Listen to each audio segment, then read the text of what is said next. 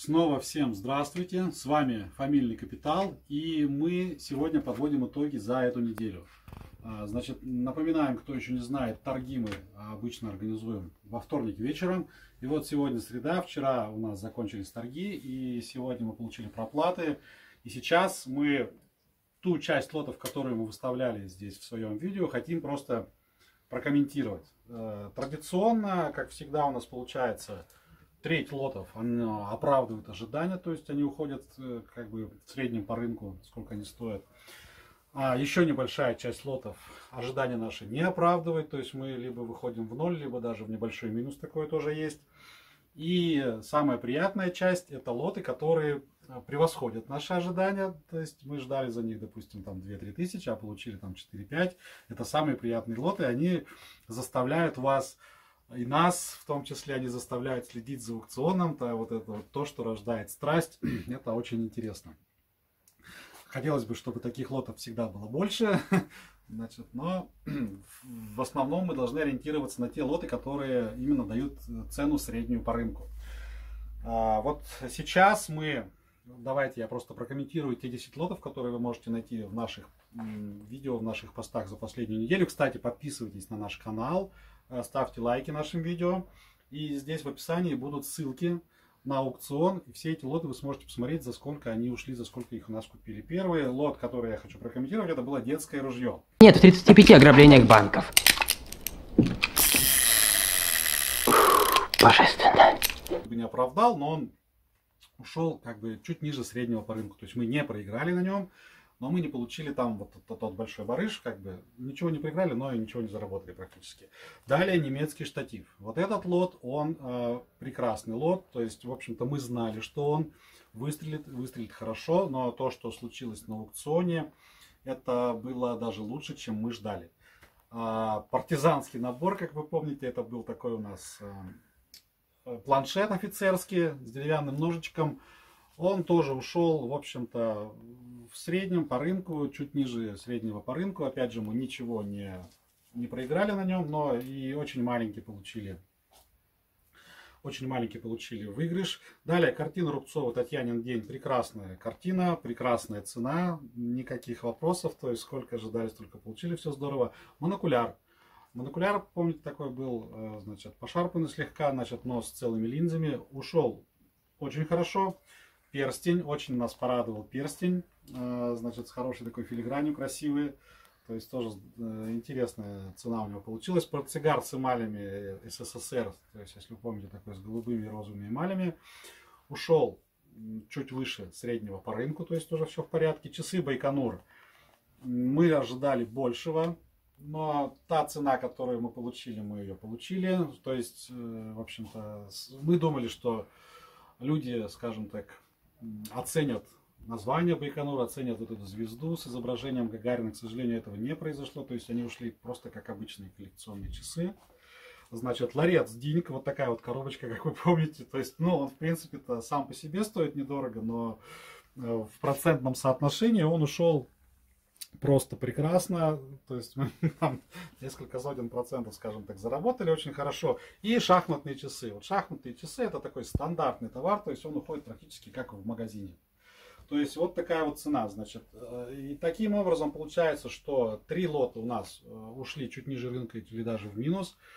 А, два, два лота еще у нас ушли в среднем по рынку. И еще два лота у нас ушли очень хорошо, превзошли наши ожидания. Значит, о чем это говорит? Это говорит о том, что когда вы торгуете на интернет-аукционе, когда вы инвестируете в, э, в предметы старины, в антиквариат, в искусство, в ювелирные украшения, у вас должно быть точно так же, кстати, как и на фондовом рынке, да, на рынке облигаций и акций, у вас должно быть э, несколько позиций, у вас должна быть диверсификация. То есть, э, когда у вас э, десяток, полтора десятка, два десятка лотов фигурируют а на аукционе, то есть вы уже не боитесь, вы знаете, что среднюю цену по рынку вы все равно получите. Что-то уйдет ниже рынка, что-то уйдет выше рынка, но вот когда у вас там порядка 100 позиций, вы в принципе можете там с точностью до ну, там, до 1000 рублей сказать, сколько у вас будет в месяц э, вот этот вот приход, расход. Потому что ну, это статистика, просто это математика. Итак, что мы еще вам хотим сказать? То есть мы э, анонсируем, что мы проводим обучение. Мы собираемся э, открывать уже э, офлайновые, офлайновые курсы. У нас, значит, есть анонс онлайн-курсов. И что это, собственно, такое? То есть, когда вы э, работаете с интернет-аукционом, когда у вас есть предметы старины, в которые вы инвестируете, да, предметы искусства, э, то есть это очень-очень хорошее занятие. Во-первых, оно приятно, это ну, у многих людей просто разжигает страсть. Значит, и это абсолютно не затратно. То есть, как вы видите, не по деньгам это не затратно на первых порах, то есть, если у вас там несколько позиций, и по времени это не затратно. То есть, вам не нужно ничего делать, вам не нужно ничего разрабатывать. То есть, вам нужно просто э, грамотно, на первых порах даже не очень грамотно, то есть, используя интернет, оценить какую-то вещь, мы вас научим, как это делать. Потом вам нужно э, завести себе будет э, все-таки аккаунт на интернет-аукционе. Там тоже есть ряд шагов. Э, этот аккаунт должен быть у вас грамотно зарегистрирован. Его нужно просто немножко грамотно оформить. И вам нужно просто начать выставлять вещи. Сначала те вещи, которые у вас есть. А, это не будет требовать от вас там уволиться с работы, не нужно будет там тратить э, часы там и все выходные на то, чтобы заниматься этим делом. Вы просто берете какую-то вещь, просто которая есть у вас дома. Вы ее фотографируете, выкладываете в ваш личный аккаунт на интернет-аукционе, так как мы вам расскажем. Выставляете ту цену, которую мы вам расскажем, посоветуем, и э, ждете ждете до какого-то момента, либо вы ставите фиксированную цену, либо вы ставите аукцион, тоже это нужно обсуждать, все это разные стратегии для разных людей, но в целом это не занимает много времени. И э, самое, самое главное, что здесь э, как бы не нужно э, жадничать, не нужно держать долго до одну вещь, а лучше начать с вещей маленьких и делать, скажем так, оборот оборот, то есть вот э, сейчас мы вам привели статистику 10 вещей, да, то есть когда у вас одна какая-то вещь, и вы в ней выигрываете, или вы в ней проигрываете, то у вас включаются эмоции, то есть вы либо радуетесь, либо вы находитесь в угнетенном состоянии. Но когда у вас 10 вещей, вы понимаете, что здесь вы выиграли, здесь вы немножко проиграли, в целом у вас вот такая-то прибыль, вы чувствуете себя спокойно. То есть вот эта диверсификация, это первое, что вам нужно сделать. Научиться а, вести на аукционе несколько лотов. То есть это вот такой секрет, с которым мы с вами делимся. И первое, что вам нужно сделать, это научиться а, регулярно выставлять а, вещи на продажу. Если у вас есть свои вещи, вы можете выставлять их. Если у вас есть знакомые, может быть, вы получили в наследство какую-то квартиру, может быть, у вас есть гараж какой-то старый, там бывает такие залежи э, антиквариата, что просто диву даешься. Может быть, у вас есть друзья, знакомые, да, которым просто нужно помочь вывести, ну, на их взгляд, хлам из дома. Если у вас ничего этого нет, мы научим вас, как а, брать подобные вещи на аукционе для себя. То есть сначала их оценивать, потом брать их для себя, получать их по почте, перепаковывать, перефотографировать, делать хорошее описание, снова выставлять их на аукцион, на аукцион а, представлять их так, чтобы их заметили те люди, которые их действительно ценят, и получать э, в два-три раза больше прибыль. Либо, если вы пока не доверяете даже другим людям, вы можете просто-напросто брать вещи, которые продаем мы.